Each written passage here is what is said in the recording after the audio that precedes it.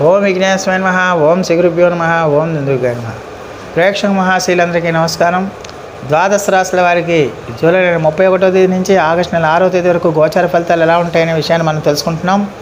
ఈ క్రమంలో మకర రాశికి చెందిన జాతకులకి జూలై నెల ముప్పై ఒకటో తేదీ నుంచి ఆగస్టు నెల ఆరో తేదీ వరకు గోచార ఫలితాలు ఎలా ఉంటాయనే విషయాన్ని మనం తెలుసుకునే ప్రయత్నం చేద్దాం. ఈ మకర రాశికి చెందిన జాతకులు అంటే ఉత్తరాషాఢ నక్షత్రం రెండు మూడు నాలుగు పాదాలు శ్రవణ నక్షత్రం ఒకటి రెండు మూడు నాలుగు పాదాలు అలాగే ధనిష్ట నక్షత్రం ఒకటి రెండు పాదాలకు చెందిన వ్యక్తులు ఎవరైనా సరే ఈ మకర రాశికి చెందిన జాతకులే ఉంటారు.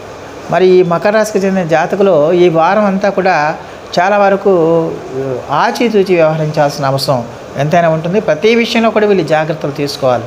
ఎట్టి పరిస్థితుల్లో కూడా మీకు ఓవర్ కాన్ఫిడెన్స్ పనిచేయదు. ఓవర్ ఎక్స్పెక్టేషన్స్ పనిచేయదు. ఎంత జాగ్రత్తగా మీరు స్టెప్స్ వేస్తే అంత మంచిదన్న విషయాన్ని గమనించాల్సిన అవసరం ఎంతైనా ఉంటుంది. ముఖ్య కార్యక్రమాలు ఏవైనా ఉంటే అవన్నిటిని కూడా మీరు వాయిదా వేసుకోవడం అనేది మంచి మంచిగా ఉంటుందన్న విషయాన్ని గమనించాల్సిన అవసరం ఎంతైనా ఉంటుందన్న విషయాన్ని గమనించాలి. అలాగే ఖచ్చితంగా కూడా మరి ఈ రాశికి చెందిన ఉద్యోగస్తులు ఎవరైతే ఉన్నారో ఖచ్చితంగా మీ ఉద్యోగానికి మీరు ఉద్యోగాల్లో పడే కష్టాన్ని మీ పై అధికారులు గుర్తిస్తారు. మీ తోటి ఉద్యోగులకు సహాయ సహకారాలు లభిస్తాయి. మీరు చేస్తున్న శ్రమని మీ పై అధికారులు గుర్తించి ఆ కష్టానికి తగ్గ ఫలితాన్ని ఇస్తారు. దానివల్ల అంటే మీరు చాలా కొంచెం హ్యాపీగా సంతోషంగా ఉండటానికి ఎక్కువగా అవకాశాలు కనిపిస్తున్నాయి. అలాగే ఎట్టి పరిస్థితుల్లో కూడా ఈ రాశికి చెందిన జాతకులకి ఈ వారంలో మొహమాటం అనేది పనికిరాదు.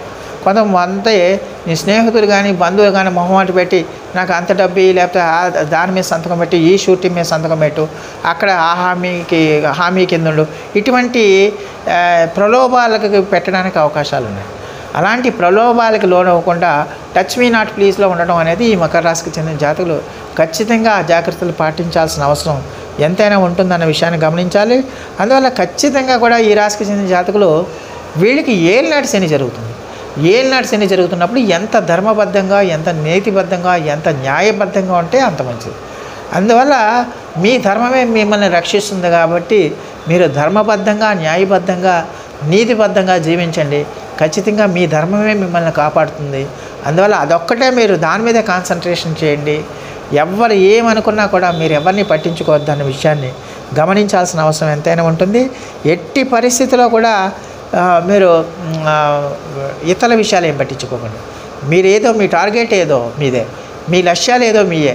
మీ అనే ఆ లక్ష్యాల మీదే ఆత్మవిశ్వాసంతో మీరు ముందుకెళ్ళాల్సిన అవసరం ఎంతైనా ఉంటుంది. అలాగే వారాంతంలో మీకు కొత్త కొత్త శుభవార్తలు అవి వినడానికి కూడా ఎక్కువగా అవకాశాలు కనిపిస్తున్నాయి. మరి ఈ రాశికి చెందిన జాతకులకి ఖచ్చితంగా కూడా ఈ వారం అంతా కొంచెం స్తబ్దుగా ఉన్నప్పటికీ కూడా చాలా వరకు కూడా మీరు న్యాయబద్ధంగా ధర్మబద్ధంగా ఉంటే కనుక చాలా వరకు ఆ సమస్య నుంచి మీరు బయటపడడానికి ఎక్కువగా అవకాశం ఉంటుంది. అలాగే కుటుంబ వాతావరణం కూడా మీకు అంత ఎంకరేజింగ్గా ఉండదన్న విషయాన్ని గమనించాల్సిన అవసరం ఎంతైనా ఉంటుంది. అలాగే ఈ రాశికి చెందిన జాతకులు విద్యార్థులు ఎవరైతే ఉన్నారో ఖచ్చితంగా వాళ్ళు ప్రాథమిక విద్యార్థులు చాలా కష్టపడి చదువుకోవాల్సిన అవసరం ఉంటుంది.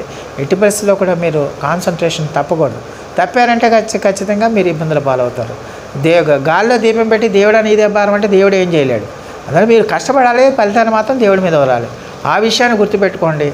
అందులో ఖచ్చితంగా కష్టపడి చదవండి విద్యార్థులు. అలాగే ఉన్నత విద్యాభ్యాసం చేసేవాళ్ళు మాత్రం ఖచ్చితంగా వాళ్ళకి మంచి ఫలితాలు ఉన్నాయి. వాళ్ళకి మంచి అవకాశాలు వస్తాయి. వాళ్ళకి వాళ్ళు మంచి ఉన్నత విద్యల్లో రాణిస్తారనే విషయాన్ని గమనించాల్సిన అవసరం ఎంతైనా ఉంటుంది. అలాగే ఈ రాశికి చెందిన భార్యాభర్తలు ఎవరైతే ఉన్నారో ఖచ్చితంగా వాళ్ళిద్దరి మధ్య దాంపత్య జీవితంలో గొడవలు రాకుండా చూసుకోవాల్సిన అవసరం ఎంతైనా ఉంటుంది.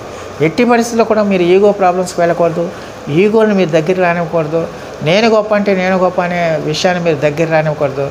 ఇద్దరు కూడా ఒకే మాట మీద కనుక మీరు ముందుకు వెళ్తే కనుక ఖచ్చితంగా చాలా వరకు సానుకూలమైన ఫలితాలు రావడానికి ఎక్కువగా అవకాశం ఉంటుందనే విషయాన్ని గమనించాలి.